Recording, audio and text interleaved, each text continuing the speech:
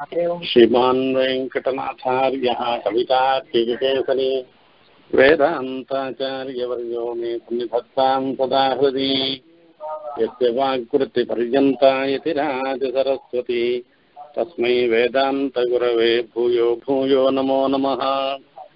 विशुद्धविज्ञानघनस्वरूपम् विज्ञानविश्राणनबद्धदीक्षम् दयानिधिम् देहभृताम् शरण्यम् एवं ஹயக்ரீவமகம் பிரபத்யே சுவாமி தேசிகனுடைய சங்கல்ப சூரியோதயத்தில் நாம் இப்போ ஆறாவது அங்கத்தில் திருவேங்கடமலையை பற்றி நாம் பார்த்துட்டு இருக்கோம். திருவேங்கடமலையில் இருக்கிற ஒரு விசேஷங்கள் எல்லாம் சுவாமி சாதிக்கிற அதாவது சில கொண்டு இதில் என்ன இதுக்கு முன்ன நாம் பார்த்தது என்னென்னா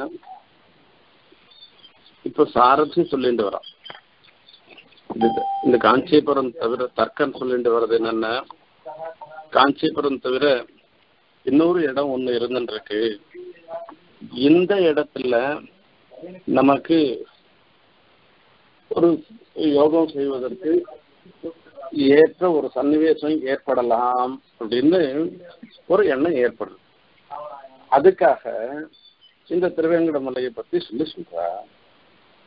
இந்த திருவேங்கடமலையில இருக்கக்கூடிய விசேஷங்களை சொல்லி சொன்னார். இங்க இருக்கிற மலையில இருக்கிற எல்லாமே எல்லாருக்கும் ஒரு பரமார்த்த புத்தி இருந்துருக்கு பரமார்த்த புத்தியோட இல்லாத இந்த இடத்துல என்ன விசேஷம்னு கேட்டோம்னாக்கா எம்பெருமான தியானம் பண்ணுவதற்கு ஏற்ற இடமாக இருந்துருக்கு இங்க ஆகாச கங்கை முதலிய தீர்த்தங்கள்னால பரிசுத்தமாக இருந்துருக்கிற தீர்த்தங்கள்னால உண்டான காடு. அந்த காடோடு இருக்கிறதுனால ஏகாந்தமா இருக்கிறதுனால இந்த இடத்துல ஜபம்லாம் பண்ணலாம். எல்லாம் யோகம் பண்றதுக்கு ஏற்ற இடம்னு சொன்னா. அங்க புலி சிங்கம் கரடி எல்லாம் என்ன பண்றதுன்னு ஒரு பயத்தை கேட்டாக்க இந்த திருவேங்கடமலையில இருக்கிற ஜந்துக்களுக்கு இயல்பாக ஒண்ணுக்கு ஒண்ணு விரோதியாக இருந்தாலும் கூட இந்த திருவேங்கடமலையில இருக்கிறதுனாலேயே மான் குட்டியும் சிங்கக்குட்டியும் கூட ஒண்ணுக்கு ஒண்ணு விளையாடின்னு இருக்குமே தவிர ஒண்ணுக்கு ஒண்ணு விரோத பாவத்தை மேற்கொள்ளாது. ஆகையால இந்த திருவேங்கடமலை தியானம் செய்வதற்கு ஏற்ற இடமாக இருக்கும்னு தர்க்கனுடைய அபிப்பிராயம். தன்னுடைய அபிப்பிராயத்தை சொல்றார். அது மாத்திரம் இல்ல இந்த இடத்துல வந்து இன்னொரு விசேஷம் இருக்கு. தயாதி திருவேங்கடமுடியான் எழுந்திருக்க திருவேங்கடமுடியானுடைய மகிழ்ச்சியாக பாவிக்கக்கூடிய தயை இருக்கா? அந்த தயையினுடைய அனுகிரகம் கணக்கு இருந்துருத்தோம்னாக்க நாம எவ்வளவு பாப்பம் பண்ணிருந்தாலும் எத்தனை காலமா எத்தனை ஜென்ம ஜென்மாந்தரமாக பண்ணிருந்தா கூட அத்தனை பாவங்களும் கூட ஒரு பெரிய பிரவாகம் எப்படி ஒரு மரத்தை வேரோட அறுத்துட்டு போயிடுமோ அதே மாதிரி இந்த விஷயத்துல நம்மளுடைய பாப்பங்கள்லாம் போறதுக்கு ஒரு பெரிய வாய்ப்பு இருக்கு. ஆகையால திருவேங்கடமுடையான இடத்துல சரணாகதி பண்றதா? தயாதேவியின் இடத்துல சரணாகதி பண்றதான்னாக்க தயாதேவியின் இடத்துலயே நாம சரணாகதி பண்ணலாம். அந்த தயாதேவியே நமக்கு அனுகிரகம் பண்ணிடுவா என்று சொல்லி சொல்ற. இப்ப இதனால என்ன ஏற்ப ஏற்பட்டதுன்னாக்க தயாதேவியினுடைய அனுகிரகம் இருந்ததுன்னாக்க சகல காரிய சித்தியும் ஏற்பட்டு போயிடும். இது இது இதனால ஏற்படுறது. இப்போ ஒரு விஷயம் சொல்ற. இது எல்லாருக்கும் சமமான ஒரு அனுகிரகம் ஏற்படுமா திருவேங்கடைய அண்டத்துல யாரோ நிச்சயமா எம்பரமான சிசாலா இருந்துட்டு எம்பரமான நிச்சயம் வந்து தியானம் பண்ணிட்டு இருக்கிறவாளுக்கு நிச்சயமா ஆச்சாரமா இருந்துட்டு ஆஜ்ஞா கைங்கரியங்கள்லாம் அனுஷ்டிச்சுண்டு வரவாளுக்கு வேணா அதெல்லாம் நடக்கும். நாமெல்லாம் நிச்சய நிச்சயம் பாபம் பண்ணிட்டு எம்பெருமானுடைய சீற்றத்துக்கு ஆளாவர்களாக தான் நாம் இருந்துட்டு இருக்கோம் அந்த நிகிரக சங்கல்பம் நம்ம மாதிரி இருக்கவாளிடத்துல இருந்து போக்க முடியுமா என்று ஒரு கேள்வி வருது. இந்த கேள்விக்கு சமாதானம் சொல்ற இது எல்லாமே தற்கனே இந்த திருவேங்கட மலைதான் தானம் பண்றதுக்கு ஏற்ற இடம்னு தீர்மானம் பண்ணிட்டு இத வந்து விவேகனுக்கு இதுல இருக்கக்கூடிய குணங்கள் எல்லாம் விசேஷத்தெல்லாம் சொல்லிட்டு வரான் தர்க்கன் இப்போ இந்த இடத்துல இருக்கிறதுக்கு விசேஷம் ஒண்ணு இருக்கு ஆகையால பண்ணலாம் அப்படின்னா அப்படி என்ன விசேஷம் இந்த இடத்துல இருக்குன்னு நிஷாதானாம் நேதா கபிகுலபதி காபி சபரி குச்சேலः குப்ஜாசா व्रजयुवतयः अल्यकृदिति अमीषां निम्नत्वं वृषगिरिपतेः उन्नतिमपि प्रभूतैः स्रोतोभिः பிரசபமனுகம்பே சமயசி திருவேங்கடமுடியான் எதிர வித்தியாசமே கிடையாதான் எல்லாரும் ஒண்ணுதானா இது நம்மாழ்வாருடைய பாசுரத்தை அனுசரித்து தான் இந்த இடத்துல சுவாமி தேசிகன் சாதிக்கிறார் நம்மாழ்வார் ஒழிவில் காலமெல்லாம் பாசுரத்துல பதிகத்துல ஒரு பாசுரம் சாதிக்கிறார் சுமந்து மாமலரும் நேரு சுடர் தூபம் கொண்டு அமர்ந்து வானவர் வானவர் கோனடும் நமன்றெழும் திருவேங்கடம் நங்கக்கு சமன்கொள் வீடு தரும் தடங்குன்றமே. இந்த திருவேங்கடமலை எப்பேற்பட்ட மலை தெரியுமா? என்று கேட்கிறார். சுமந்து மகமலர் நீர் சுடர் தூபம் கொண்டு அமர்ந்து வானவர் வானவர் கோனொடும். விண்ணவரும் மன்னவரும் விரும்பும் வெற்பு வெங்கட வெற்பன விளங்கும் வேத வெற்பு என்பதாக சுவாமி தேசிகன் மங்களாசாசனம் பண்றார். அங்க நித்திய சூரிகள்லாம் திருவேங்கடமுடியான வந்து செய்கிறாராம். முப்பத்து முக்கோடி தேவர்களும் நித்தியம் வந்து திருவேங்கடமுடியான வந்து சேவிச்சுட்டு போறாளாம். அவள்லாம் சேவிக்கிறான்னாக்கா எப்படி சேவிப்பா? அப்படின்றத பார்க்கணும். எந்தெந்த விதத்துல எப்படி எல்லாம் பூஜை பண்ணணும்னு சொல்லி ஆகமங்கள்ல சொல்லியிருக்கோ அதே முறையில அந்த ஆகமத்துல சொல்லியிருக்கிற முறையிலேயே இவர்கள்லாம் பூஜை பண்ணி பெருமாளை சந்தோஷப்படுத்துறார்கள். இது அவர்களுக்கு சொதசித்தம் இயல்பான ஒரு நிலை. இந்த நிலை இருக்குச்சு. அதே சமயத்துல ஒண்ணுமே தெரியாதவா இருந்துட்டு இருக்கா. அவ இத்தனை ஜனங்கள் அப்படியே ஒன்றும் தெரியாத ஒரு ஜனங்க பெருமாள் பெருமாள்னு ஒரே ஒரு எண்ணம் தான் இருந்துட்டு இருக்கு. அவர் எப்படிப்பட்டவர் அந்த சேஷ சேஷி பாவமோ சேஷித்துவமோ இதெல்லாம் பெருமாளுக்கு இருக்கிற சேஷித்துவமோ எதுவுமே தெரியாது. அவளுக்கு தெரிஞ்சதெல்லாம் பெருமாள் அப்படின்றது ஒண்ணுதான் தெரியும். அவ என்ன பண்றா அப்படின்னா ஒண்ணும் கிடையாது. வாசல்ல கருடு சேவையில பெருமாள் எழுது பெருமாள் எழுதுனாக்க ஒரு தேங்காய் வெத்தலை பார்க்க ஒரு தேங்காயும் அவளே உடைச்சுக்கிறா. அவளே அதை உடைச்சிட்டு அதோட கூட ஒரு நாட்டு சர்க்கரையும் கூட வச்சுட்டு வர்றா. தானே ஒரு கல்பூரத்தை கொளுத்த வேண்டியது கல்பூரத்தை கொளுத்து பெருமாளை பார்த்து அப்படியே கை கூப்பி அந்த தட்டை காண்பிச்சிடுறா இவன் அவ்வளவுதான் பண்றா. இப்போ இவாளுக்கு வரக்கூடிய பலன் இவாளுக்கு வேற ஒன்றும் எந்த மந்திரமும் தெரியாது. ஒவ்வொரு வேத வாக்கியங்களை கொண்டு பெருமாளை சொல்ல முடியாது. ஆகமத்துல சொல்லியிருக்கிற மந்திரங்களை கொண்டு பெருமாளை வந்து திருவாராதனம் பண்ண முடியாது. இன்னும் கேட்டா அஷ்டாட்சரமே கூட முழுசா அவளுக்கு உபதேசம் ஆகாதவா அவ. அப்படி இருக்கிறவாளுக்கும் இவ இதனால இந்த மாதிரி ரீதியில இவ வந்து திருவேங்கடமுடியான வணங்கி வழிபடுகிறார்கள். அவர்களோ ஸ்ருதி வாக்கியங்களை கொண்டு பெருமாளை ஸ்ரேயான் பவதி ஜாயமானஹா அப்படின்னு நமக்கெல்லாம் ஒவ்வொரு வாட்டி ஒவ்வொரு பிறப்பு பிறப்பு எத்தனை வாட்டி பிறந்தோமோ அத்தனை வாட்டி நம்ம துக்கத்தை அனுபவிக்கிறோம் நாம. பெருமாள் என்ன பண்றாருன்னா ஒவ்வொரு அவதாரத்திலையும் அவருக்கு ஒரு பெருமை அதிகமா போயிட்டு இருக்கும் இப்ப மத்திய அவதாரம் கூர்ம அவதாரம்னு சொல்லச்சு ஒவ்வொரு அவதாரத்துக்கு சொல்லச்சு மேல மேல மேல மேல பெருமை அதிகமாயிட்டே வருது பெருமாளுக்கு. சவு ஸ்ரேயான் பவதி ஜாயமானதா அப்படின்னு. நமக்கு என்னென்ன ஐயோ இத்தனை ஜென்மம் வேண்டவன் இத்தனை ஜென்மம் வேண்டு இன்னும் எத்தனை பாப்பம் பண்ணிருக்கானோ இன்னும் எத்தனை ஜென்மம் வாழ போறானோன்னு நம்மளுடைய ஒவ்வொரு பிறப்புமே இழிவாக கருதப்படுகின்ற ஒரு விஷயம். அதே பெருமாளுக்கு நடக்கக்கூடிய ஒவ்வொரு அவதாரமே அவருக்கு சிறப்பாக அமைந்திருக்கு. இதுதான் வித்தியாசம். இந்த சிறப்புல வரைச்சே திருவேங்கடமுடையானாகவும் ஒரு அவதாரம் பண்ணிருக்கேன் இது அர்ச்சாவதாரம் இது. அது விபவ ராமாவதாரம் கிருஷ்ணாவதாரம் எல்லாம் இதெல்லாம் விபவாவதாரம் என்று சொல்லப்படுகிறது.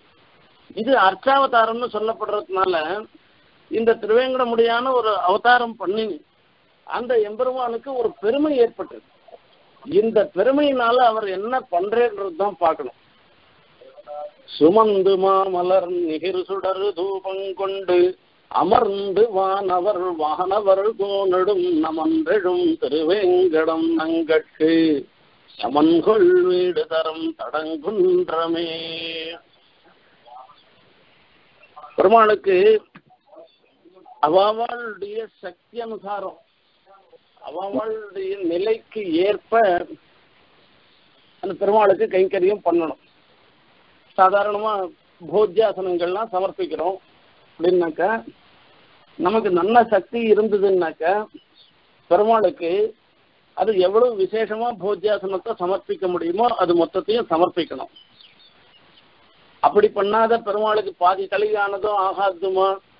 ஏதோ ஒன்று அப்படியே கொண்டு பெருமாளுக்கு நிவேதனம் பண்ணச்சே பண்ணிட்டு அப்புறமா நாம சாப்பிடுச்சே நிறைய முந்திரி பருப்பு அப்புறமா நெய்யெல்லாம் குத்திண்டு நாம சாப்பிடுறதுன்றது இது ரொம்ப ரொம்ப தப்பு. ஆகையால அவரவர்களுக்கு இயல்பு அவரவர்களுக்கு என்ன விதமான சக்தி இருக்கோ அந்த மாதிரி முறையில பெருமாளுக்கு பூஜை பண்ணணும். பெருமாளை பொறுத்த வரைக்கும் பத்திரம் புஷ்பம் பலந்தோயும் யோமா யோமே பக்தியா பிரயச்சதி அப்படின்னா. நீ கொடுக்கிற பொருள்ல வந்து ஒன்றும் விசேஷம் இல்லை. நீ எப்படி கொடுக்குறேன்றத பொறுத்து தான் இருந்துருக்கு நீ நிறைய பண்ணி கொடுத்தியானாலும் கூட அஸ்ரத்தையா கொடுத்தியானாக்க அது வந்து பெருமாளுக்கு ஒரு ஏற்புடையதாக ஆகாது. நீ ஒண்ணுமே இல்லாத ஒரு உத்தரணி தீர்த்தமோ ஒரு பழ ஒரு பழமோ இல்லைன்னா ஒரு துளசி தளமோ நீ சமர்ப்பிச்சேனா கூட என்னால இவ்வளவுதான் முடியறது இன்னைக்கு. ஐயோ நான் இப்படிப்பட்ட ஒரு நிலையில இருக்கனேன்னு நினைச்சுண்டு அதை ஒரு பக்தியோட கணக்கு சமர்ப்பிச்சோம்னாக்கா நாம சமர்ப்பிக்கிறத அவர் தலையால ஏற்றுக்கொள்றாராம். அந்த இடத்துல முக்கியமான விஷயம் என்ன இருக்குன்னாக்க பக்தி தான். அப்போ நித்தியசூரிகள் எல்லாமும் பக்தியோட பெருமாளுக்கு திருவேங்கட வணங்குறா ஒண்ணுமே இல்லாதவா? பெருமாளை பத்தி ஒன்றும் தெரியாது அந்த ஞானமும் இல்லாதவா? சக்தியும் இல்லாதவா இருந்துருக்காள. அவளும் திருவேங்கடமுடியான இடத்துல ஒரு பெரிய பக்தியோட வணங்குறா. அவளுக்கு சக்தி அனுசாரமா முப்பத்து முக்கோட்டி தேவர்களும் வந்து குங்கிட்டு இருக்கா அப்போ அந்த தேவதைகள் எல்லாம் வந்து பெருமாளை வணங்கச்சு அவர்களுக்கு என்னென்ன எப்படி எப்படி விசேஷமான வஸ்துக்களை கொண்டு பெருமாளை ஆராதிக்க முடியுமோ? தேவலோகத்தில் இருக்கக்கூடிய பாரிஜாத புஷ்பத்தை கூட கொண்டு வந்து திருவேங்கட முடியாம ஆராதிக்கலாம் அவள்.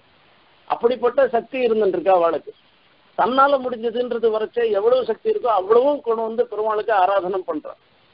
இவன்லாம் ஒண்ணுமே பண்ணாத இருந்துட்டு இருக்கான் இப்ப யார் நிறைய பண்றாளோ விசேஷமா பூஜை பண்றாளோ அவளுக்கு வரக்கூடிய ஒரு பலன் வேற.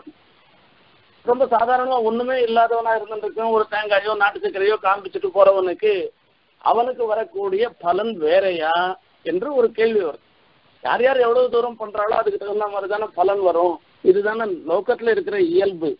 அப்படின்னு அதான் கிடையாதான் திருவேங்கட முடியாத விஷயத்துல. அமர்ந்து வானவர் வானவர். வானவர் கோனொடும் நமன்றெழும் திருவேங்கடம் நங்கட்கு. சமன்கொள் வீடு தரும் தடங்குன்றமே. சமன்கொள் வீடு தரும் தடங்குன்றமே. வீடுன்னா மோட்சம்னு அர்த்தம். ஒண்ணுமே இல்லாதவன். பத்திரம் புஷ்பம் பலம் தோயம்னு சொல்லக்கூடியதாக வெறும் ஒரு திருணி தீர்த்தம் சமர்ப்பிக்கிறவன் ஒரு திருத்துழாயை சமர்ப்பிக்கிறவன் அவனுக்கும் நீ நிறைய அவனுடைய சக்தி அனுசாரமா நிறைய போஜ்யான போஜ்யாசனங்களை சமர்ப்பிக்கிறது நிறைய புஷ்பங்கள்லாம் சமர்ப்பிக்கிறது தீபங்கள்லாம் சமர்ப்பிக்கிறதுன்னு எவ்வளவு கொண்டாலோ எல்லாருக்கும் அவளுடைய பக்தி விசேஷத்தை கொண்டு எல்லாருக்கும் சமமான ஒரு பலனை கொடுக்கிறாராம். அந்த சமமான பலன் என்ன பலன்? வீடு. வீடுன்னா மோட்சம். அந்த மோட்சத்தை கொடுக்கிறவராக இருந்திருக்கார் அந்த திருவேங்கடத்து எம்பெருமான் என்பதாக நம்மாழ்வாருடைய ஒரு திருவிழா அந்த பாசுரத்தை அடியற்றி அதனுடைய எப்படி எப்படியெல்லாம் பெருமாள் அனுகிரகம் பண்ற தயாதேவி எப்படி அனுகிரகம் பண்றா பெருமாள் அனுகிரகம் பண்றாருன்னா தயாதேவியினுடைய அனுகிரகம் தான். அது எப்படி எல்லாம் நடக்கிறதுன்றத நமக்கு இன்னும் ஒவ்வொன்றுத்துக்கும் ஒரு எக்ஸாம்பிள் அதுங்க பொதுப்படையா சொன்ன விஷயத்த ஒரு பர்டிகுலரைஸ் பண்ணி இந்த இடத்துல சொல்றாரு. निषादानां கபிகுலபதி कपिकुलपतिः சபரி குச்சேலஹ குப்ஜாசா விரஜயுவதயோ மால்ய கிருதிதி ராமாவதாரத்திலையும் கிருஷ்ணாவதாரத்திலையும் நடந்த நிகழ்வுகள் அதை கொண்டு நமக்கு திருவேங்கடமுடையானுடைய பெருமையை சொல்லி சொல்ற ஆழ்வார் பாசுரங்கள்லையும் சரி ஆச்சாரியாளுடைய பாசுரங்கள்லையும் அதாவது ஸ்தோத்திரங்கள்லையும் ரெண்டு ரெண்டு அவதாரத்தை சேர்த்து சேர்த்து சொல்லி அனுபவிக்கிறதுன்றது ஒரு வழக்கம். அந்த திருவேங்கடமுடையான் பாசுரத்திலேயே உலகம் உண்ட புரிவாயான்னு சொல்லி ஆறாம் பத்துல பத்தாவது தசகம். அதில் சொல்லச்சு ராமாவதாரம் கிருஷ்ணாவதாரம் ரெண்டையும் சேர்த்து ஒரே பாசுரத்துல அனுபவிக்கிறார். உணரா நின்ன மரமேழ் அன்னைத ஒருவில் வளமாவோ புனரே நின்ற மரமிரண்டின் நடுவே போன முதல்வாவோ மரம்னு ஒன்னே ஒண்ணு எடுத்துக்கிறேன். இந்த மரத்துன்னு எடுத்துட்டா பெரிய சாலவருஷத்தை எடுத்துக்கிறேன். ராமாவதாரத்துல என்ன பண்ணேன்னா ஏழு சாலவிருஷங்கள் ஏழு மரம் இருந்தது. அப்ப அந்த சுக்ரீவனுக்கு நம்பிக்கை ஏற்படுறதுக்காக ஏழு சாலவிருஷத்தையும் அது உள்ள உள்ள பூந்து வெளியில வந்து கீழே பாத்தாளம் வரைக்கும் போயிட்டு மறுபடியும் வந்துடுத்து ராமன் தன்னுடைய பராக்கிரமத்தை காண்பிக்கிறதுக்காக பண்ண எழுதின ஒரு அம்பு. அப்பதான் இந்த இடத்துல சொல்ற புனரானின்ன மரவேள் அன்றைத ஒருவில் வளவாகும். புனரே நின்ற மரமிரண்டின் நடுவே போன முதல்வாவோம் யசோத பிராட்டி கண்ணனை உரல்ல கட்டி போட்டா. கட்டி போட்ட பிற்பாடு அந்த உரலோடு கூட ஓடுறேன். ஓடினா என்னாரு? உணரே நின்ற மரமிரண்டின் நடுவே போன முதல்வாவோ ரெண்டு மரங்கள் நிற்கின்றன. அது நடுவுல இவர் போறே அந்த உரலை இழுத்துட்டு போறே. ரெண்டு மரமும் சாயறது நலக்கோபுராளுக்கு அனுகிரகம் பண்றேன்ற விஷயம் அது. இப்ப ஆழ்வாருடைய ஒரு அனுபவ ரீதி எப்படி இருக்குன்னாக்க ஒரு அவதாரம் அங்க மரம்னு ஒண்ணு எடுத்துட்டாக்கா ராமாவதாரத்துல நடந்த ஒரு நிகழ்ச்சி கிருஷ்ணாவதாரத்துல நடந்த நிகழ்ச்சி இந்த ரெண்டு நிகழ்ச்சியும் சேர்த்து சேர்த்து அனுபவிக்கிற எதர்த்தம் அம்போதிகி அமந்தி அபந்திக அப்படின்னு சொல்ற சமுத்திரம்னு ஒண்ணு எடுத்துக்கிற இதுவும் வந்து ஆச்சாரியாளுடைய சீசூக்தி. அந்த சமுத்திரத்தில் நினைச்ச உடனே பிராட்டிக்காக எதர்த்தம் யாருக்காக அப்படின்னாக்கா அந்த பிராட்டிக்காக சமுத்திரத்தை கடைந்தேறான் அமந்தி அபந்திக்கான அவருக்காக அதே பிராட்டிக்காக ராமாவதாரத்துல என்ன பண்ண அவர் அப்படியே அவளுக்காக அணைய கட்டில. அலைகடலை கடைந்து அடைத்த அம்மான் தன்னை எங்கேயும் எல்லாத்துக்கும் மூலம் மூலம் பார்த்துக்கோனாக்கா மேல மேல இருந்துட்டு இருக்கும் இது ஆளவந்தார் சோத்திரத்துல சொன்ன விஷயம் இது. இதுக்கு மூலமா திருமங்காழ்வாருடைய பாசுரம். அலைகடலை கடைந்து அடைத்த அம்மான் தன்னைன்னு. இதே சமுத்திரம்னு ஒண்ணு எடுத்துட்டது. அது கடைந்தவரும் அந்த எம்பெருமான் தான். அம்மான்னா சுவாமின்னு அர்த்தம். அடைத்தவர் அடைத்தவர்னா சேத்து பந்தனம் பண்ணவர். அதுவும் அந்த சுவாமி தான் சொல்லி சொல்ற இப்படி ஒரு விஷயம்னு எடுத்துட்டாக்க அது அந்த விஷயங்கள்ல என்னென்னலாம் அந்த இடத்துல ஸ்பூர்த்திக்கு வருதோ மனசுல தோன்றதோ அவை எல்லாவற்றையும் ஒரே இடத்துல கொண்டு வந்து சேர்த்து அனுபவிக்கிறது ஆழ்வார் ஆச்சாரியர்களுடைய ஒரு வழக்கம். அதே மாதிரி இந்த இடத்துல சுவாமி பேசிக்கம் தன்னுடைய தயாசத்துக்கத்துல ராமாவதாரத்திலையும் கிருஷ்ணாவதாரத்திலையும் பெருமாள் எப்படி தன்னுடைய நீர்மையை காண்பிக்கிறார் என்பதை சொல்ற ஒரு இதுல மூணு விஷயங்கள். ஒவ்வொரு அவதாரத்திலையும் மூணு விஷயம். ராமாவதாரத்துல நடந்த நிகழ்ச்சி மூன்று நிகழ்ச்சி கிருஷ்ணாவதாரத்துல நடந்த நிகழ்ச்சிகள் மூன்று. ராமாவதாரத்துல நடந்ததை பார்ப்போம். निषादानां நேதா கபிகுலபதி காபி சபரி நிஷாதானாம் நேதா இந்த நிஷாதானாம்னாக்கா வேடுவன் வேடுவர்களுக்கெல்லாம் நேதாவாக இருந்திருக்கிறவன் அவன்.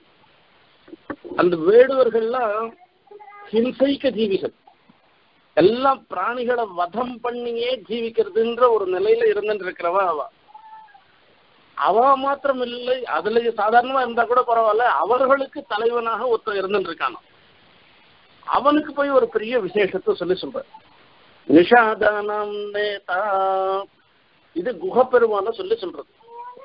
அந்த குகன் விஷயத்துல வரைச்சு திருமங்கழ்வார் சாதிக்கிற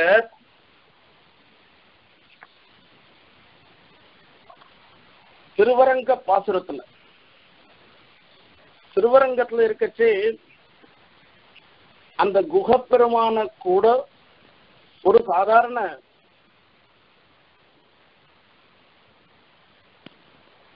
அந்த குகனை பார்த்து இன்ட்ரடியூஸ் பண்ணி விடுற. யாருக்கு இன்ட்ரடியூஸ் பண்ணணும்னாக்கா சீதா பிராட்டிக்கு இன்ட்ரடியூஸ் பண்ணி விடுற. அப்ப சீதா பிராட்டிக்கு இன்ட்ரடியூஸ் பண்ணச்சே அவர் சொல்ற வார்த்தை என்னன்னாக்கா என் தம்பின்னு சொல்லி சொல்ற. அப்ப அந்த தம்பின்னு சொல்றதுனால அவருக்கு ஒரு பெரிய ஏற்றம் கொடுக்குற அப்போ உன் தோழன் என் தோழன் என்றெல்லாம் சொல்லி சொல்றபடினால அதுக்கு ஒரு பெரிய ஏற்றத்தை சொல்லி சொல்ற ஆகையால நிஷாதானாம் நேதா அப்படின்னு சொல்ற. கபிகுல பதிகி காபி சபரி என்று சொல்ற. கபிகுலபதி யாருன்னா சுக்ரீவன் சுக்ரீவனை சொல்லச்சு அவனுக்கு ஒரு பெரிய சிறப்பு ஏற்படுத்துற யாரோ ஒரு இது அந்த கபிக்குலபதியாக இருந்திருக்கிறவனுக்கு இந்த சுக்ரீவனுக்கு ஒரு அவனோட கூட ஒரு தோழமை கொள்ற இவர் ராஜைய ராஜாவா இருந்துருக்க இது ஒரு குரங்கு. குரங்குக்கு சாபல்யம்லாம் அதிகம். அத்துக்காக அதோட சாபலத்தோட இருந்தாலும் பரவாயில்ல. ராமனிடத்துல சம்பூர்ணமான விசுவாசம் இருக்கான்னு கேட்டோம்னாக்கா அந்த விசுவாசம் கூட இல்லை. ஏன்னா பிரதிஜை பண்றேன் நான் உனக்கு என்ன சகாயமும் நான் பண்றேன். நீ உன்னுடைய மனைவியை இழந்து நிக்கிற. உன்னுடைய மனைவியை நீ மீண்டும் பெறுவதற்கு என்னென்ன சகாயம் உனக்கு நான் பண்ணணுமோ அது மொத்தத்தையும் நான் பண்றேன்னு பெருமாள் சொல்றேன் அப்படி பண்றேன்னு சொன்னா சரி அப்படியே ஒத்துட்டு தானே போகணுமே அதை ஒத்துக்கல உன்னால பண்ண முடியுமான்னு கேக்குறான். ராமனுடைய வீரியத்துல போய் அவனுக்கு ஒரு சம்சயம் வருது அவன் சொல்றான்றதுக்கோசரம் தன்னுடைய ஒரு சரி என்னுடைய பராக்கிரமம் இப்படி எல்லாம் இருக்கு. அப்படின்னு காண்பிக்கணும் அவசியமான அவசியமே கிடையாது. இருந்தா கூட அவனுக்கு விசுவாசம் ஏற்படுறதுக்காக பெருமாள் என்ன பண்றார்?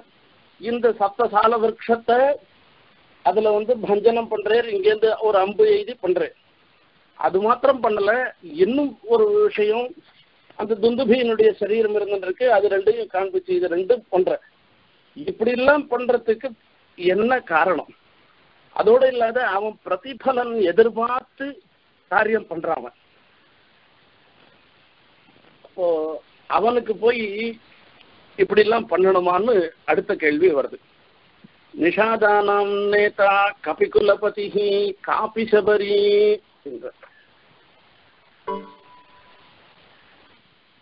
இதெல்லாம் திருமங்கையாழ்வார் பாசுரம் அத்தியுதமான பாசுரங்கள். ஏழை ஏதலன் கீழ்மகன் எண்ணாது இறங்கி மற்றவர்க்கு இன்னருள் சிறந்து மாழைவான் மடநோக்கி உன் தோழி உம்பி எம்பி என்று ஒழிந்திலை. உகந்து தோழன் நீ எனக்கு இங்குழி என்ற சொற்கள் வந்து அடியேன் மனத்திருந்திட. ஆழிவண்ண நின் அடியினை அடைந்தேன். அணிபொழில் திருவரங்கத் தம்மானே என்று அந்த பாசுரம். ஏழை ஏதலன் கீழ்மகன் என்னாது? என்ன? அவன் ஏழை. யாரு? குகப்பெருமான சொல்லச்சு அவன் ஏழையாக இருந்திருக்கிறவன். ஏழைன்னா எந்த விதத்துல ஏழைன்னா நாம சொல்ற பணத்துல ஏழை எல்லாம் அல்ல. அது ஏழை பணக்காரத்தன்றது பணத்துல இல்ல. ஞானமின்மை. இங்க சாட்சாத்தா எழுந்தருள் இருக்கிறவர் ராமர். சாட்சாத் ஸ்ரீமன் நாராயணன் தான். இவாள் தான் பரதத்துவமாக எல்லாராலையும் போற்றப்படுகிற எம்பெருமான்ற பாவம்லாம் ஒண்ணுமே கிடையாது. அவன் ஏதோ ஒரு சக்கரவர்த்தி திருமகன். அவ்வளவுதான் அவனுக்கு எண்ணம் இருந்துருக்கு. அந்த மாதிரி பரத்வ ஞானம் இல்லாதவன் அவன். ஏதலன் கீழ்மகன் அப்படின்னா ஒன்னும் இயலாதவனாக இருந்துட்டு இருக்கான் கீழ்மகனாக இருந்துட்டு இருக்கான் அதாவது தாழ்ந்த குடி பிறப்போட இருந்துட்டு இருக்கவன் அதோடு இல்லாத அவன் இழித்தொழில் புரிபவனாக இருந்துட்டு இருக்கான் என்னாது இது எதையுமே கன்சிடர் பண்ணல இதை எதையுமே நினைச்சே பார்க்கலையாம் பெருமாள்.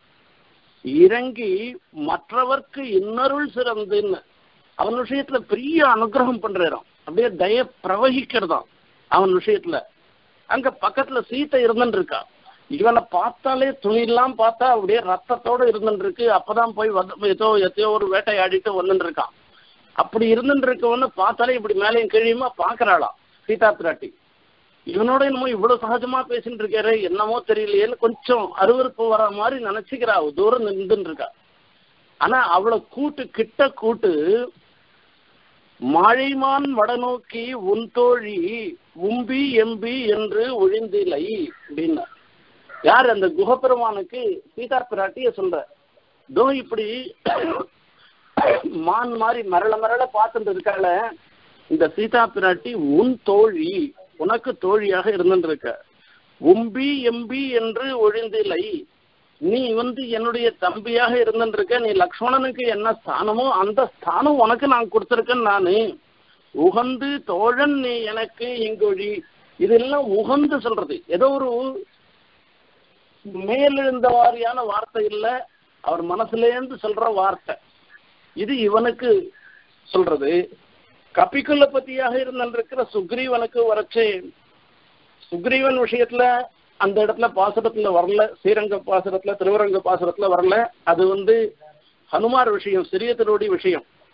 வாத்தமாமகன் மர்க்கட்டம் விலங்கு மற்றோர் சாதி என்று ஒழிந்திலை. உகந்து காதலாதரம் கடலினும் பெருகச்சை தகவனுக்கு இல்லை கைமாறு என்று என்று. இது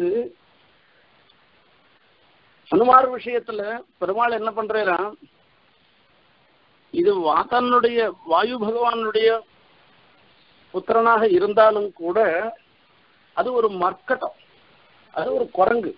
விலங்கு விலங்குலையும் குரங்கா குரங்குன்றதுக்க ரொம்ப ஸ்திரமான புத்தி இல்லாத ஒரு விலங்குன்னு அர்த்தம் அது. அது மனுஷன் இல்லை. அது மற்றொரு சாதி. மனுஷ ஜாத்தியே இல்லாத ஒரு ஜந்து அது. அவரிடத்துல போய் உகந்து காதல் ஆதரம் கடலினும் பெருகச்சை தகவனுக்கு இல்லை கைமாறு என்று அவன் விஷயத்துல பெருமாளுக்கு இருக்கிற ஒரு பிரீத்தி ராமனுக்கு இருக்கிற பிரீத்தின்றது ஒரு சமுத்திரத்தை காட்டிலும் பெருசா இருந்துட்டு இருக்கான் இவ்வளவுன்னு சொல்ல முடியாததாக இருந்துருக்கான் அப்பேற்பட்ட அவ்வளவு ஒரு பிரீத்தியோட கூட சீதா பிராட்டிய அணைக்கிற தோள்களாலையும் கைகளாலையும் ஒரு குரங்க கட்டிக்கிறேன். நீ இவ்வளவு பெரிய காரியத்தை நீ எனக்கு பண்ணி கொடுத்துட்டியேன்னு பண்றவ இதெல்லாம் எம்பெருமானுக்கே ஏற்பட்ட ஒரு சிறப்பு. அதுதான் இந்த இடத்துல சொல்ற நிஷாதானம் நேதா கபிகுல பதிஹி. இந்த சுக்ரீவனும் எனக்கு நீ இதை பண்ணி கொடுத்தியானா நான் பண்ணுவேன். இல்லாட்டா நான் உனக்கு பண்ண மாட்டேன்னு சொன்னவன் அவன் விஷயத்துல அவனுக்காக முன்ன பண்ணி கொடுத்துட்டு அவனுடைய மனைவியை அவன் பெரும்படியாக இழந்த ராஜ்யத்தையும் இழந்த மனைவியையும் அவன் பெரும்படியாக பண்ணிவிட்டு அப்புறம்தான் தனக்கு பத்தி நினைக்கிறவர் அந்த எம்பெருமான்.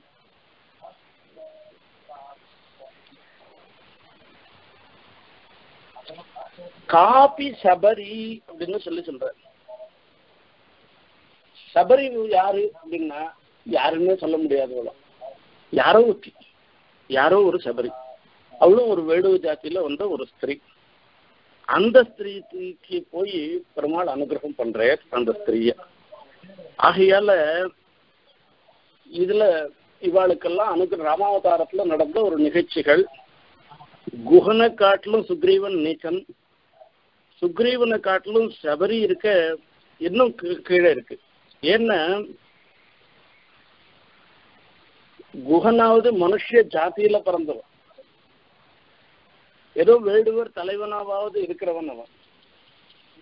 அவனை காட்டிலும் சுக்ரீவன்ற மனுஷ ஜாதியே இல்லாத ஒரு காப்பை ஒரு குரங்கு.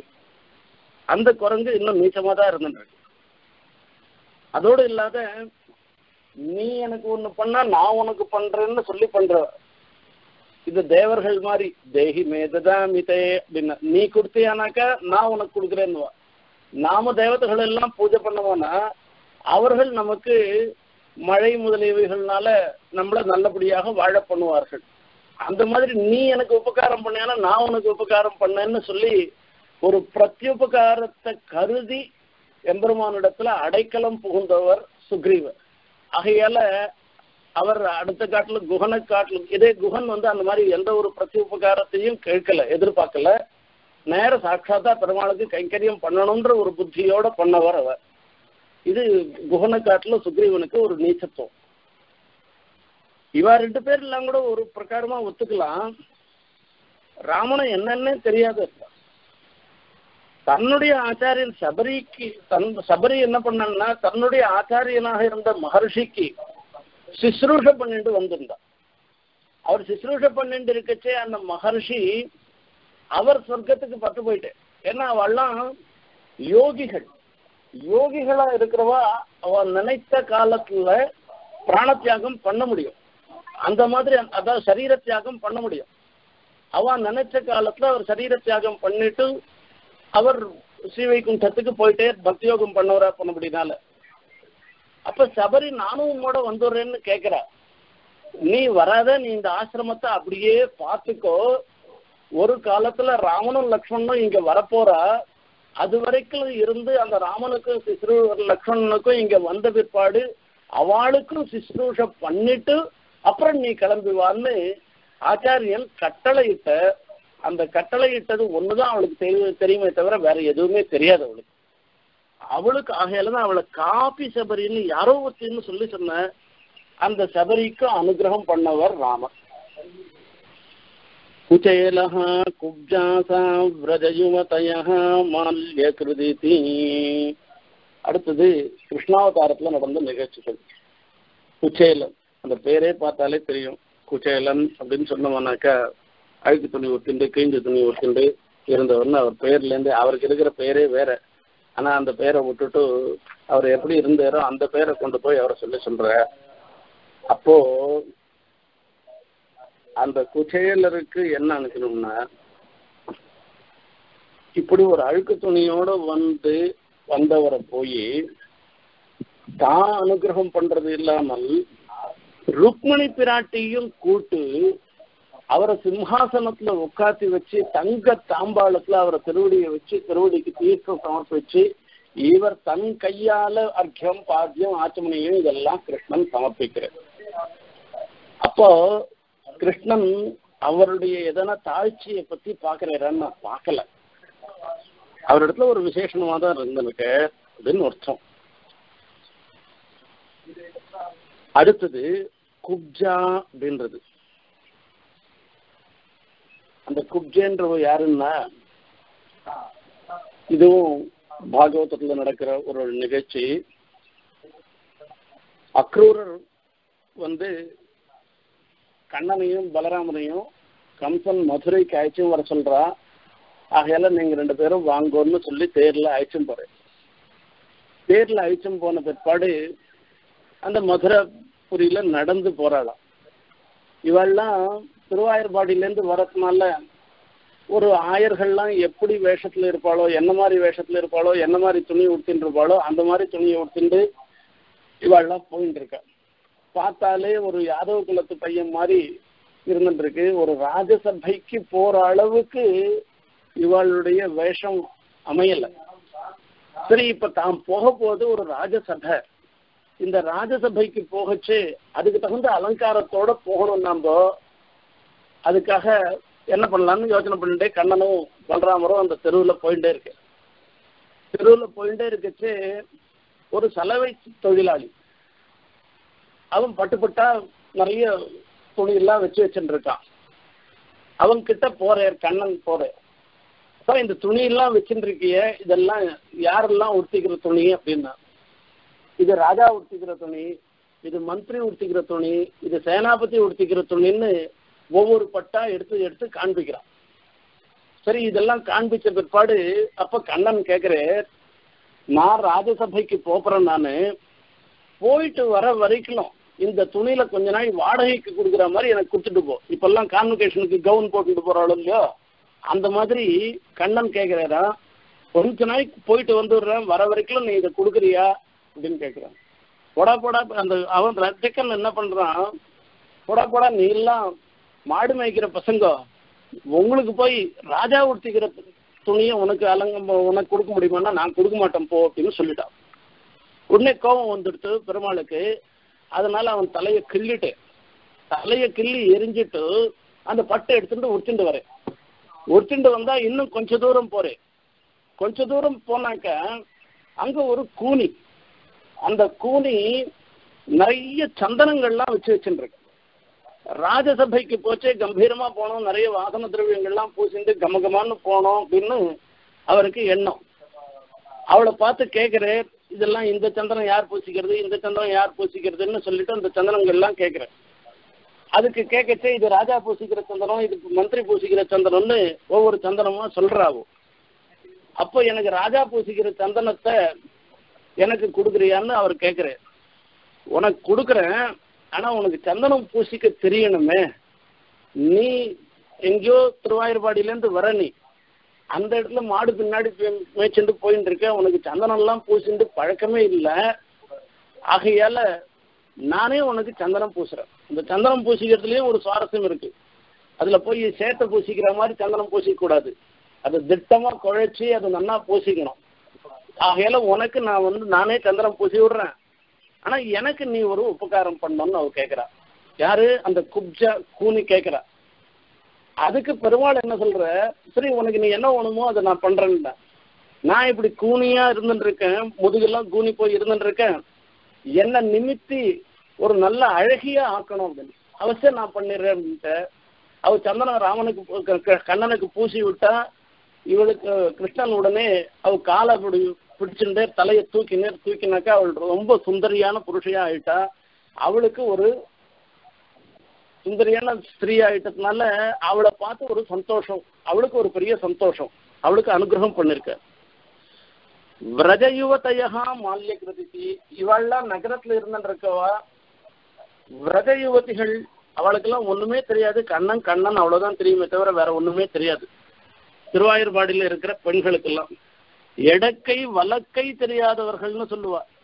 அவள்லாம் மாடு மேய்க்க போவாளாம். இந்த மாடு மேய்க்கச்சு ஒரு இடத்துல ஒரு நாலு மாடு இருந்ததுன்னாக்கா அந்த நாலு மாடுக்கு ஒரு மாட்டுக்கு ஒரு மாசம் மாடு மேய்ச்சோம்னாக்கா அது ஒரு மரக்கா நெல் கொடுக்குறான்னு சொல்லி அந்த காலத்துல மாடு மேய்க்கிறதுக்கு வழக்கம். அந்த மாதிரி நாலு மாடு நீ மேய்ச்சிட்டு வர நாலு மாடு ஒன்று ரெண்டு மூணு நாலுன்னு சொல்லிட்டு நாலு மரக்கா நெல் அவளுக்கு கொடுத்தாக்கா அந்த நாலு மரக்காவும் அவளுக்கு நாலுன்ற எண்ணம் அவளுக்கு தெரியாது. ஒவ்வொரு மாட்டு வாலையும் போய் பிடிச்சுப்பாளாம். இந்த மாட்டுக்கு உண்டான ஒரு மரக்கா நெல் கொடு. அடுத்த மாட்டுக்கு உண்டான ஒரு மரக்கா நெல்லு கொடுன்னு ஒவ்வொரு மாட்டு வாழையும் பிடிச்சிட்டு சரி நாலு மாடு இருக்கு. ஆகையால நான் எத்தனை மாடு இருக்கோ அத்தனை மாட்டுக்கும் தனக்கு கூலி கொடுத்துட்டான்னு வாங்கிட்டு போறவா அவ. அவ விஷயத்திலையும் பெருமாள் அனுகிரகம் பண்ணவர் அவ. இது மூணு பேர் ஆயிடுச்சு. மால்யகிருத்துன்ற மாலாக்காரர்னு ஒருத்தர் அவர் மாலை கட்டி ஜீவிக்கிறவர். அவ்வளவுதான். அவர் எங்கேயோ ஒரு முட்டு சந்தில இருந்துருக்கு கண்ணன் ராஜசபைக்கு போனோம்னு பாக்குறேன். நல்ல புஷ்பம்லாம் சுத்தின்னு மாலையெல்லாம் போட்டுட்டு போனோம் ராஜசபைக்கு. இப்போ ஏதோ ஒரு பிரகாரமா நல்ல பட்டு வேஷ்டி கிடைச்செடுத்து சந்தனம் பூசிண்டாச்சு. அந்த மாலையை போத்துக்கணுன்றதுக்காக அவர் என்ன பண்ணார்? மாலாக்காரர் இருக்கிற ஒரு முட்டு சந்தில போய் நிக்கிறேன் முட்டு சந்தில போய் நின்ற உடனே எதிர்ச்சையா பார்த்த உடனே இவாள இல்லாமாவது கேட்டேர் சலவை தொழிலாளிய கேட்டேர் அவன் கொடுக்க மாட்டேன்னு சொல்லிட்டான். குப்ஜா கேட்டா அவ ஒரு பிரதிபலனை எதிர்பார்த்து அவ கொடுத்தா அந்த கூனி ஆனா மா அந்த மாலாக்காரர் என்ன பண்றேன்னா வந்து நின்ற உடனே அப்ப ராஜாக்கு கட்டின்னு இருக்கிற மாலைய அதை எடுத்து கண்ணனுக்கு எடுத்து கொடுத்துட்டேறான். நீ போட்டுட்டு போ அப்படின்னு. ராஜா உன்னை கோச்சுப்பானுன்னா அதை பத்தி பரவாயில்ல நான் பாத்துக்கிறேன் நானுன்னு கொடுத்துறான். அவருக்கு அனுகிரகம் பண்ணிடுறான் இப்படி இவாளுக்கெல்லாம் கிருஷ்ணாவதாரத்துல நாலு பேருடைய நிகழ்ச்சி நாலு நடந்த நிகழ்வை சொல்லி இவா எல்லாருக்கும் அனுகிரகம் பண்ணேர். அமீஷாம் நிம்னத்துவம் விஷகிரிபதேர் உன்னதிமபி பிரபூதை ஸ்ரோதோபி பிரசபமனுகம்பே சமயசி அமீஷாம் நிம்னத்துவம் விஷகிரிபதேகே உன்னதிமபி இவர்களுடைய தாழ்நிலை இழிந்த நிலையையும் அந்த திருவேங்கடத்துல எழுந்தருள் இருக்கிற எம்பெருமான் சீனிவாசனுடைய மேன்மை இருக்க இது ரெண்டையும் சமமா ஆக்கிடுறாளாம் ஒரு பெரிய பிரவாகத்தினால. யாரு தயாதேவி தயன்ற ஒரு பிரவாகத்தினால எல்லாம் அந்த திருவேங்கடமுடையானுக்கு இணையாக ஆக்கிடுறான்னு சொல்லி இவ அதோட இல்ல சாதாரணமா இல்ல பலாத்கரிச்சு பிரசபம் சமயசி அப்படின்னு. அந்த பெருமாளை நிச்சயம் இப்படிதான் அனுகிரகம் பண்ணியாகணும்னு பண்ணி வைக்கிறவள் இந்த தயாதேவி என்று இந்த இடத்துல தயையினுடைய பெருமையை சொல்லி சொல்ற தயையின் இடத்துல சரணாகதி பண்ணோம்னா நம்மளுடைய பாப்பெல்லாம் போயிடும். என்ன? நாம எவ்வளவுதான் தாழ்ந்தவர்களாக இருந்தாலும் நம்ம விஷயத்துல தயா பிரவாகம் அது அப்படியே ஏற்பட்டு பெருமாளுடைய கட்டாட்சத்துக்கு பாத்திரமாகும்படியாக பண்ணும். அதுல ஒன்றும் சந்தேகமே இல்லைன்றத தர்க்கம் தெரிவிக்கிறான். இது ரெண்டையும் கேட்குற சபகுமான மௌலாக்கிய சாஷ்டாங்கம் பிரணமதி. இப்ப இந்த தர்க்கம் சொன்னதெல்லாம் நியாயமான விஷயமா இருந்துருக்கு அது ரொம்ப ஒரு பகுமானத்தோட அந்த திருவேங்கட மலையை பார்க்கிறார் விவேகர் பார்த்துட்டு சாஷ்டாங்க அங்கேயே விழுந்து சேவிக்கிறார் விழுந்து சேவிச்சுட்டு విశ్వోపకారమితి నామ సదా దుహానాం అద్యాపి దేవి భవతీం అవధీరయంతం నాథే నివేశయ విఢాద్రిపతౌ దయేత్వం యస్వరక్షణభరం త్వయి మాం త్వయైవ இந்த ஸ்லோகம் வந்து இந்த இடத்துல பிராக்கெட்ல போட்டிருக்கார். இது வந்து தயாசதகத்துல வரக்கூடிய ஸ்லோகம். ஆனா இந்த ஸ்லோக கணக்குல அனுசந்தான கிரமத்துல இத பண்றாருன்ற ஒரு முறையில எடுத்துக்கலாம். ஆனா இந்த அங்கங்கள்ல வரக்கூடிய ஸ்லோக சங்கையில வரைச்சே அந்த கணக்குல வரைச்சே இது வரதில்லை. எப்படி இருந்தாலும் நமக்கு அனுபவம் தானே முக்கியம். இந்த ஸ்லோகத்தினுடைய அர்த்தத்தையும் நாம இங்கு பார்ப்போம்.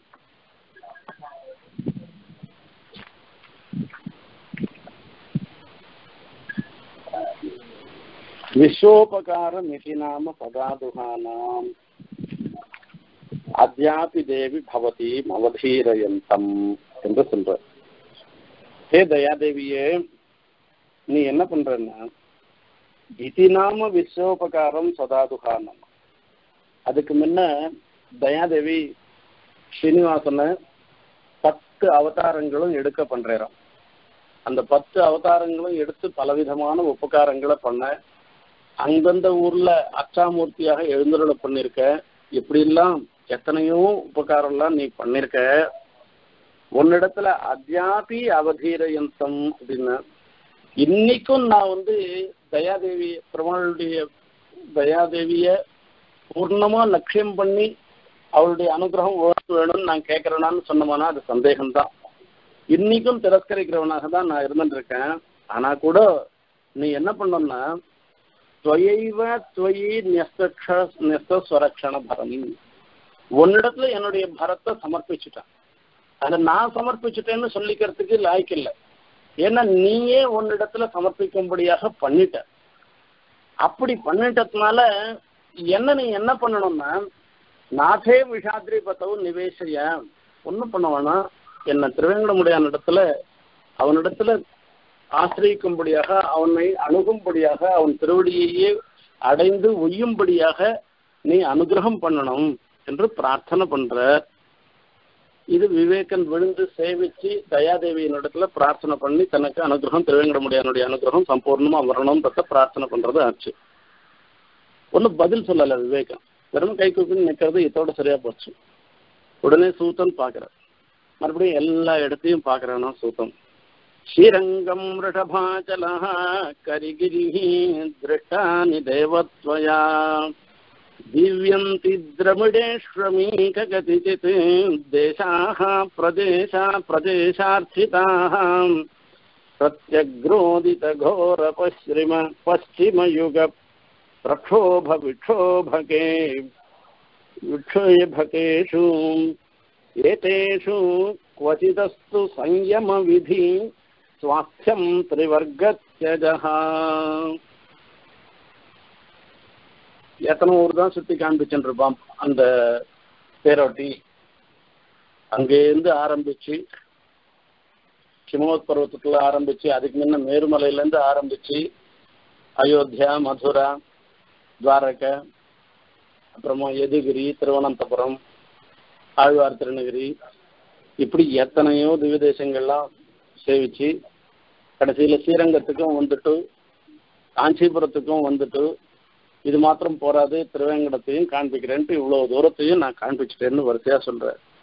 ஸ்ரீரங்கம் ரிஷபாச்சலஹா ஸ்ரீரங்கம் ரிஷபாச்சலஹா திருமலை. ரெண்டு விதமா சொல்லிக்கலாம். திருமலையும் வருது. அந்த திருமாலிரும் சோலைக்கும் ரிஷபாச்சலம்னு பேரு. அகையில அந்த ரெண்டு இடத்தையும் காண்பிச்சு. கரிகிரி திருஷ்டானி தேவத்வயா. உமக்கு எல்லா இடத்தையும் காண்பிச்சேன். அந்த தேவபெருமாள் எழுந்தருளி இருந்துருக்கிற ஹஸ்திகிரி மலை அதையும் நான் காண்பிச்சிட்டேன். திருஷ்டத்வயா திருஷ்டானி தேவா. திவ்யந்தி திரவிடேஷ்வமீக கதிச்சித் தேசாக பிரதேசார்த்திதாக இது மாத்திரமில்ல இன்னும் சில எத்தனையோ தேவதேசங்கள்லாம் இருக்கு.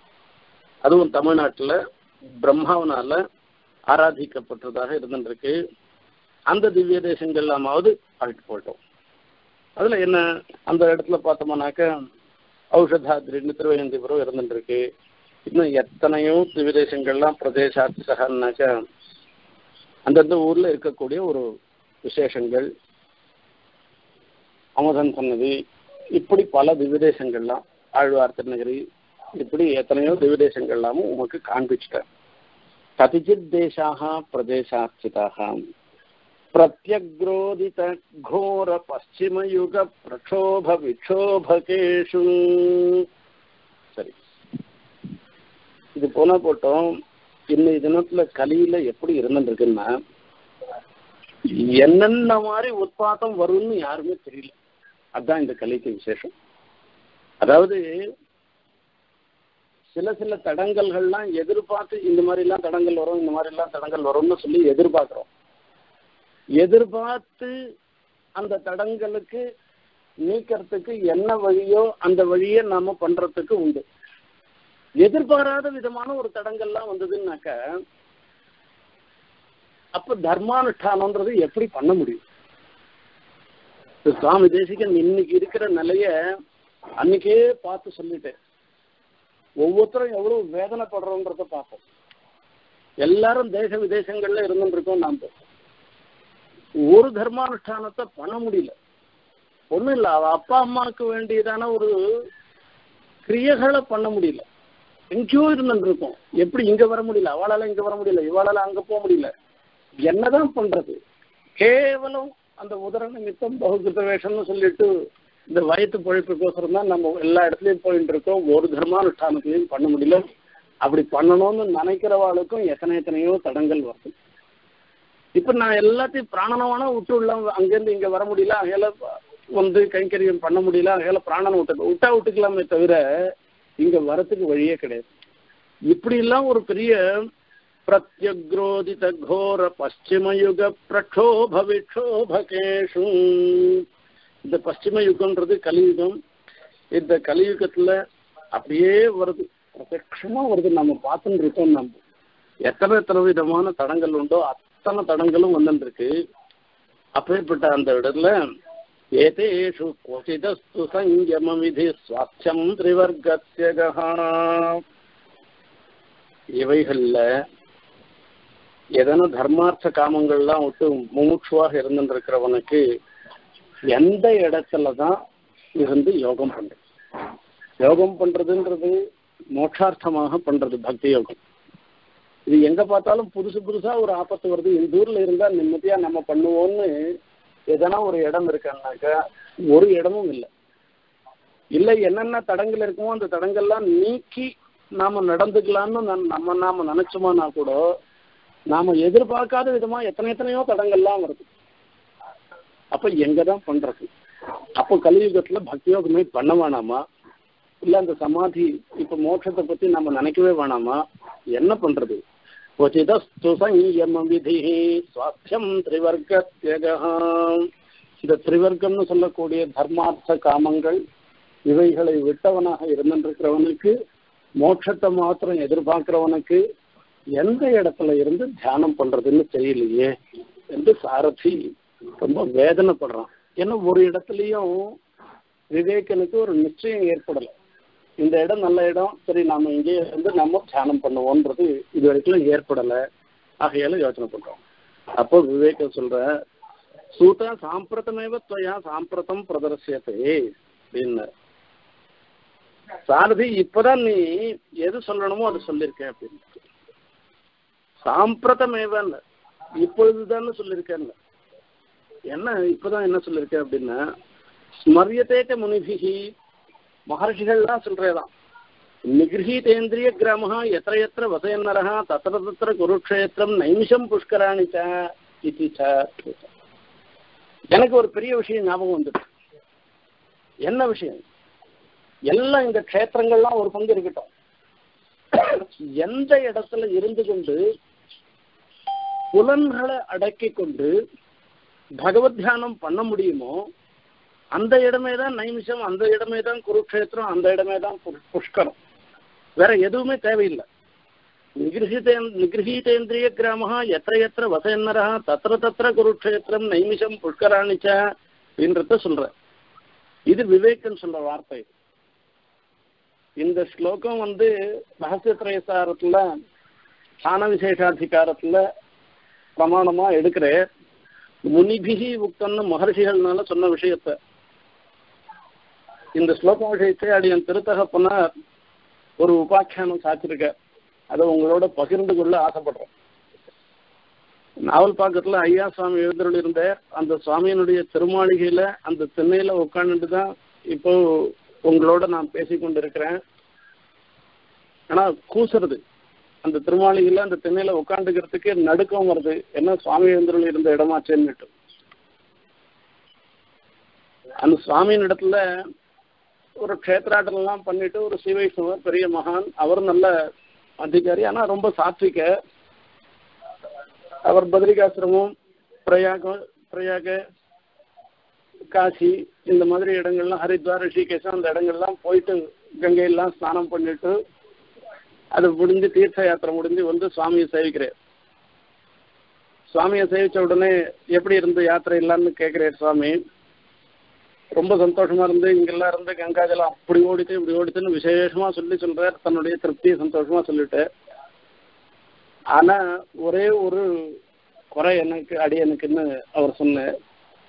என்ன குறைன்னு கேட்ட அங்கெல்லாம் சுவாமி ஏழி தீர்த்தம் தீர்த்தம் ஆடலைன்னு கங்கைக்கு கங்கையில பிரயாகையில திரிவேணியில அதே மாதிரி யமுனா தீரத்துல இப்படி கோதாவரிலாம் சுவாமி ஏழு தீர்த்தா ஆடலைன்னு எனக்கு ரொம்ப குறையா இருக்குன்னு அவர் சொன்னார்.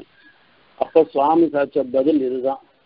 நிகிருஹீதேந்திரிய கிராம எத்திர எத்திர வசேனரா தத்திர தத்திர குருக்ஷேத்திரம் நைமிஷம் புஷ்கரானிச்சான்னு புலன்களை அடக்கி எம்பெருமான் இடத்துலயே மனசை செலுத்தக்கூடியதான ஒரு இடம் எங்க இருந்துருக்கோ அதுவே நைமிஷாரண்யம் அதுவே குருக்ஷேத்திரம் அதுவே புஷ்கரம் அதுவே எல்லா விசேஷமான சொல்லக்கூடியதாக இருந்துருக்கிற தீர்த்தங்கள்லாம் அதுவே தான்னு சுவாமியே சாட்சிட்ட ஆகையால என்னை பொறுத்த வரைக்கும் மகான்கள்லாம் எழுந்தருளி இங்க இருக்கிற திருக்குளத்துல அவர்கள்லாம் தீர்த்தமாடி அனுஷ்டானங்கள்லாம் பண்ண ஒரு இடம் இருக்கு.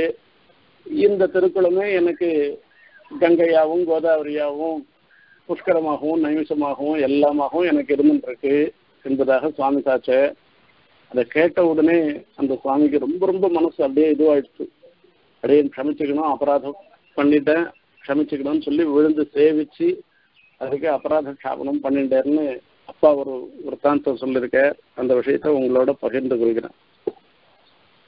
அப்போ கடைசியில் அவ சொல்ற விவேக சொல்ற பரிக்ராந்தா பிருத்வி பிரணிதி பதமன்விஷ்ய பகுதா கலிக்ஷோபகிரஸ்தே ஜகதி நகதி क्वापि சுலபா अथापि द्रष्टव्यं पुनरिह किमप्यादिमयुग क्रियायोग्यं किञ्चित् कथमपि मया स्थानमनखम् பரிபிராந்தா பிருத்திவி பூமி மொத்தம் சுத்திட்டா இந்த இடம் இந்த இடம்னு ஆரம்பிக்கல எத்தனை இடம் இருக்கோ அத்தனை இடமும் செஞ்சுட்டு என்ன பரிக்ராந்தா பிருத்வி பிரணிதி பதம் அன்விஷ்ய பகுதா.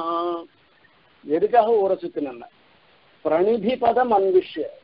பிரணிதி நிதித்தியாசன தியானத்துக்கு ஏற்ற இடமாக எந்த இடம் இருக்கும் என்று மொத்தம் சுத்திட்டார் பிரணிதி பதம் அன்விஷ்ய பகுதா அன்விஷ்யம் கலிக்ஷோபகிரஸ்தே ஜெகதி நகதி குவாபி சுலபா. எங்க போனாலும் ஒவ்வொரு விதமான ஒரு கஷ்டம் இருக்கும். ஒவ்வொரு ஊர்ல ஒவ்வொரு விதமான கலியினுடைய கோலாகலம் இருந்துட்டு அங்க மேரு ஹிமவத் பர்வதத்துல அந்த இடத்துல போலாமா அப்படின்னு கேட்டார் அங்க பக்கத்துலயே கந்தர்வாள்லாம் வந்து கானம் பண்ணிட்டு இருந்துட்டு இருக்கா அதனால நிறைய அந்த புத்தியினுடைய விக்ஷேபம் அதாவது புத்தி வைக்காக்கிரம் ஒரே நிலையில இருக்கும்படியாக இல்லை. அந்த மாதிரி எந்த இடத்துலயும் எல்லாம் எல்லாம் அயோத்திக்கு போவோம் ராமர் எழுந்தருள் இருந்த இடம் தானே அயோத்திக்கு போவோம் அப்படின்னா அங்க மிளேச்சா கிராந்தமா இருக்கு மொத்த இடமும். சரி மதுரைக்கு போவோம்னாக்க மதுரையில இருக்கிறவெல்லாம் இப்ப என்னன்னா வெறும் பணப்பிசாசுகளா இருக்கா வெறும் வேஷதாரிகளாக இருந்துருக்கா? பகவான் இடத்துல ஒரு உண்மையான பக்தியோட இருக்கிறவாளாக தெரியல. இப்படி எந்த திவ்ய தேசத்துல போனாலும் அங்கங்க ஒரு கொஞ்சம் ஒரு சிரமம் ஏற்படுறது. எதுகிரிக்கு போனோம்னாக்கா எதுகிரியில ஒரே குளிரான குளிர் அங்க உட்காந்து தியானம் பண்ண முடியல. எம்பெருமானார் உகந்த ஸ்தலம் தான் அதுல ஒன்றும் தப்பே இல்லை. திருவனந்தபுரம் போவோமேன்னா திருவனந்தபுரத்துல போகலாம் அதுல ஒன்றும் தப்பு இல்லை. அங்க இருக்கிற பிராமணர்லாம் எப்படி இருந்துட்டு இருக்காருனாக்கா அங்க இருக்கிற மனுஷாலாம் சுத்ர தேவதைகளை அதிகமா உபாசனம் பண்றவளா இருந்துட்டு இருக்கா அல்பமான பலத்துக்காக அல்பமான பல பல யாகங்கள்லாம் பண்றவாளுக்கு அவளுடைய சகவாசம் சரிப்படல அப்படின்னு. இல்ல அகஸ்திய ஆசிரமத்துக்கு போறதா? நான் அங்கேயும் எவ்வளவு கஷ்டம் இருக்கு. இப்ப யாரும் இல்லை. இங்க இருக்கிறவாள்லாம் எப்படி இருந்துட்டு இருக்கா அங்க மொத்தம் தேவதைகள்லாம் வந்து அந்த இடத்துல அவளுடைய பெண்களுக்கு பெண் அதாவது ஸ்திரீகளோட கூட அந்த இடத்துல உலாவரா அதனால நம்மளுடைய புத்திக்கு ஒரு மாறுபாடு ஏற்பட்டு போயிடும் அந்த இடம்லாம் இல்லை. சரி ஆழ்வார் திருநகரி திருமாலிருன்னு சொல்ல அங்கெல்லாம் வருவோமேன்னா ஒரே பெரிய பூசல் சமுத்திர கூசல் திருவணையினுடைய கூசல்னால தியானம் பண்ண முடியாது போல இருக்கு அப்படின்னா. ஸ்ரீரங்கம் போனாக்கா என்ன ஆகும் அப்படின்னா அங்கேயும் தான் சிரமமா இருக்கு காஞ்சியிலையும் தான் சிரமமா இருக்கு. இப்போ திருவேங்கடத்துல இவ்வளவும் சொல்லிட்டேனே அப்படின்னா வாஸ்தவம் அந்த திருவேங்கடம்லயே சுவாமி மங்களாசாசனம் பண்ணச்சே பிரசமித்து கலிதோஷம் பிராத்திய போகான்னு வந்தான்னு கலிதோஷம் புகுராத இடம் திருவேங்கடமலைன்னு சமயக் இருக்கான்னு சொல்லி சொல்ற ரொம்ப ஆச்சாரத்தோட இருந்துட்டு இருக்கிற இடம்னா அதெல்லாம் போயிடுச்சு. இப்போ ஒன்றும் அந்த மாதிரிலாம் இல்லாத போயிட்டு என்ன பண்றதுன்னு தெரியலையேன்னு யோசனை யோசனை பண்றாராம் கலிக்ஷோ பக்ரஸ்தே ஜெகதி ஜெகதி குவாபி சுலபா. ஒரு இடத்துலயும் சுலபமாக சரி இந்த இடம் பரவாயில்ல இந்த இடம் நம்ம தியானம் பண்ணலாம் அப்படின்ற ஒரு இது எதுவுமே இல்லை.